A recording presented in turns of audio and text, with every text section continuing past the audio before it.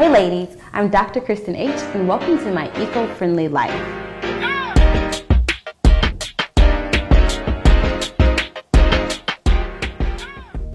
So today we're going to talk about home. Now, when we say home, what do we exactly mean? We're talking about a lot of these toxins and chemicals that you may be bringing into your bathrooms, into your laundry rooms without even knowing it. And so today we're gonna help you clean it up. One of the first places we wanna start is with your clothes. When you wash your clothes, your laundry detergent, fabric softeners, and dryer sheets may be introducing a whole slew of chemicals into your house and into your body. When you wear your clothes, you're wearing it on your skin. And when you wear something on your skin, it's a possibility that it can be an irritant and cause rashes and breakouts. You may not even know why, but you may actually be sensitive to your laundry detergent or sensitive to one of the ingredients in your laundry detergent.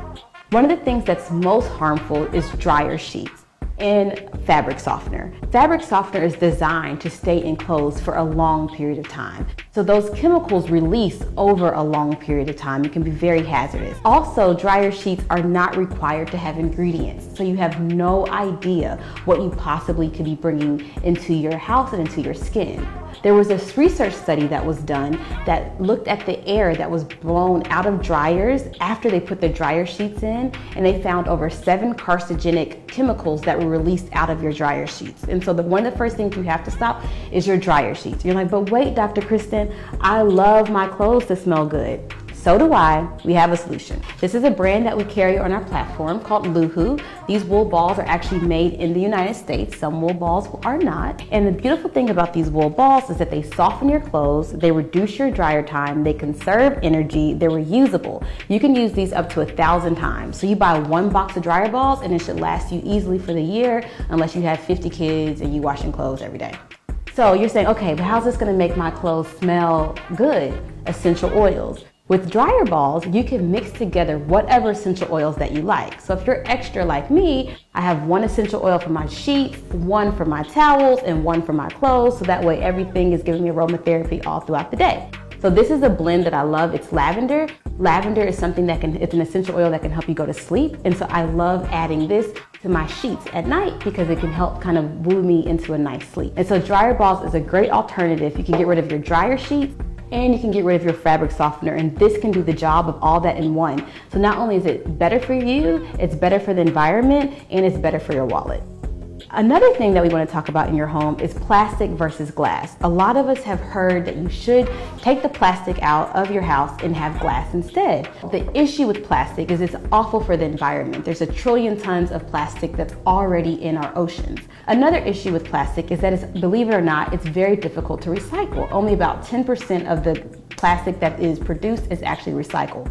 Whereas glass, on the other hand, is very easy to recycle and it takes less chemicals to recycle glass than plastic and glass is reusable.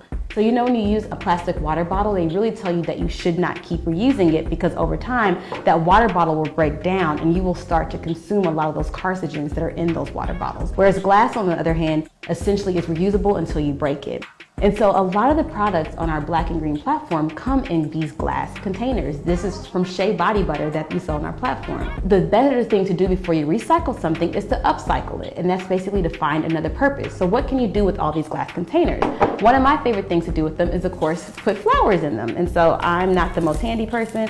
I'll just rip the bottoms of it off, stick it in here, voila. Ooh, I made a mess everywhere, but that's okay. Um, and you have a nice little makeshift plant for your flowers. Another option is you can store things with it. So I know a lot of people are, you go to the health food store and you're like, okay, I'm at the health food store and you see all these bulk aisles and you see like your nuts and your seeds and your beans and you're trying to find containers to put it in. Grab your glass containers, throw them with your reusables, take them with you to the grocery store, and now you can fill them with all of your nuts and seeds. And so here's like some mung beans. You drop these right on in there, and voila, you can have a container that can also hold beans. And so there's a fabulous things that you can do with your glass containers after you use all your amazing products a really great way to freshen your home, instead of using air fresheners, they're full of a lot of carcinogens, is a lot of us have been going towards candles. Now, the thing with candles is when you buy the traditional candles that you might get from a large big box store, they're gonna be with paraffin. The issue with paraffin is when it burnt off paraffin, it releases a lot of carcinogens into the air. And so you really want to try to stick with plant-based waxes like coconut wax or soy wax because when those are burned, you are not releasing any of those carcinogens to your house, into your home. Another really good point that a lot of people don't know with candles is when you burn it, you want to make sure you burn the entire first layer down. The very first time you burn a candle, if you just burn it to a small circle, all of that wax on the edge, you're going to lose. So you have to make sure you always burn your candle all the way down. So if you don't have time to burn it for an hour or two, then you don't want to light a candle because you'll be throwing it away. And with our sustainable life, we do not want to waste anything. So again, even in your home, you want to be conscientious and try to find plant-based alternatives. You want to use wool balls instead of traditional dryer sheets, and you can use essential oils in a lot of different ways to get aromatherapy um, and make sure that you can still have a wonderful, beautiful smelling home without having synthetic fragrances.